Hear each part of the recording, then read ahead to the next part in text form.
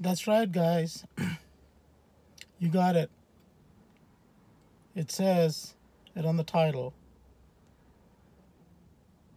World record, national, state, cross multiple meets, no belt, no wraps, no straps for training, and I'll be talking about straps for training and how.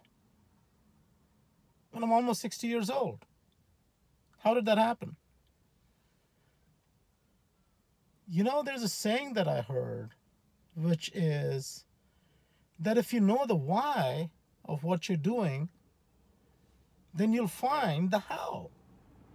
Now, I can tell you my how, may or may not work for you,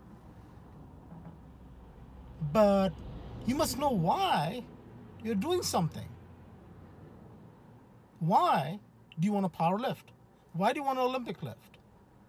Why do you want a track and field? I mean, you don't need to know the why if you're doing it as an accessory to something, okay?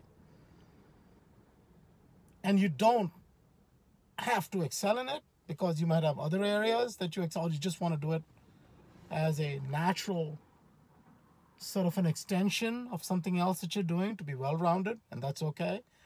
But if you want to compete,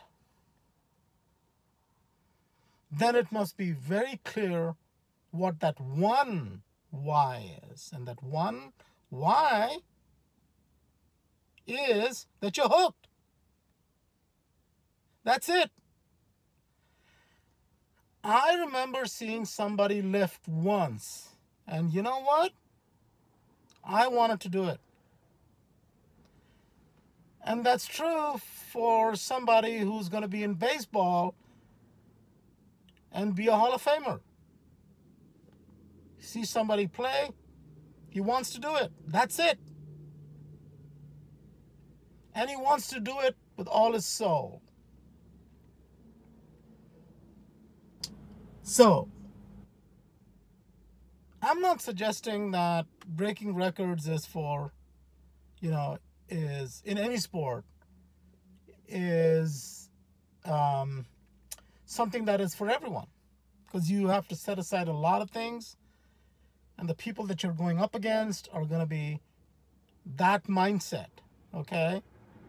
Because that's the only mindset that'll make it through. You've got to give it all and you you probably have to once in a while feel like you're spitting blood.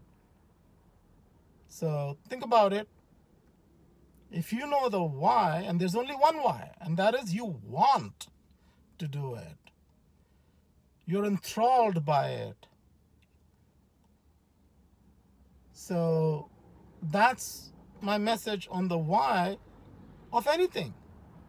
The emotion must come first it has to be the right emotion.